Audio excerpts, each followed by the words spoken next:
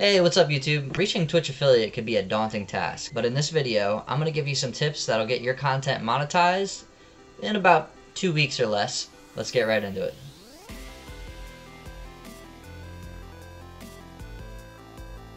Hey everybody, I'm Vulcan Reborn. I'm a variety streamer over at twitch.tv forward slash Vulcan Reborn. I stream three times a week, Monday, Wednesday, Friday, over at 6 p.m. Be there, be square. Yeah, like I was saying, I made this video because I've had some recent success, and I just started two weeks ago, so I wanted to highlight some of the things that I did so that others can do what I did, basically, and have the same success that I did.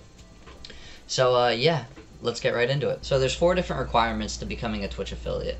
You have to have 500 minutes broadcast in the last 30 days. You need to stream on seven unique days in the last 30 days. You need to have 50 followers, and arguably the hardest one is going to be getting those three average viewers over the last 30 days. So my first tip in this video is going to be to network, and I'm going to break it down into three parts for you guys. The first part is going to be hitting up your family and friends and seeing if they'll support your content. Maybe come have a watch and they'll be one of your three concurrent viewers.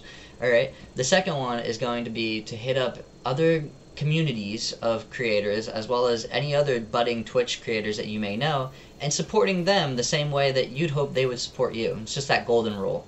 And the third one is going to be utilizing all of your social medias, right? Whether it's TikTok, Instagram, Facebook, right? The more you create a community and build everything up, people are going to feel like they're part of something and it's going to make them want to stay and be one of your three average viewers so they can watch you when your content's starting from the bottom. Now, my second tip for a Twitch streamer just starting out, trying to reach affiliate, is to have about middle level production value. Having a nice setup, having decent audio where they can actually hear you properly, not like me being plagued by audio issues my first couple streams.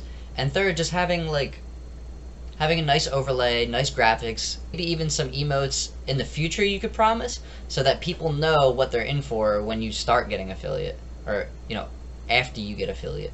The audio quality is so important because scenes change, game volume changes, game sounds change, but the one thing everybody is always going to hear is your voice. When you're just starting off, you don't want to invest too much money in it, but there's still a certain level you need to reach so that people can hear you nice and crisp, just like as if you were right next to them. So the last tip I have in this video is something of a motivational one, and it'll kind of help you out for the rest of your life and whatever you're doing. Um, and that's just to be disciplined in what you're doing. Making a schedule, sticking to it, whether it's one YouTube video a week or two tick, you know, one TikTok a day, one being in person, one being gameplay, something like that. I'm a believer in like the best things in life are the hardest to get and they require the most work. Success on Twitch is one of them. Whether it's small success or even the highest, highest success that obviously I haven't gotten to. But those people will probably tell you it's it looks like anybody can do it, but I promise you, they've spent countless hours refining their, their product, basically, that everybody's consuming, right? This is a service that a Twitch streamer is providing to people. It's entertainment, and it requires the discipline to stick to a certain schedule that you're providing yourself.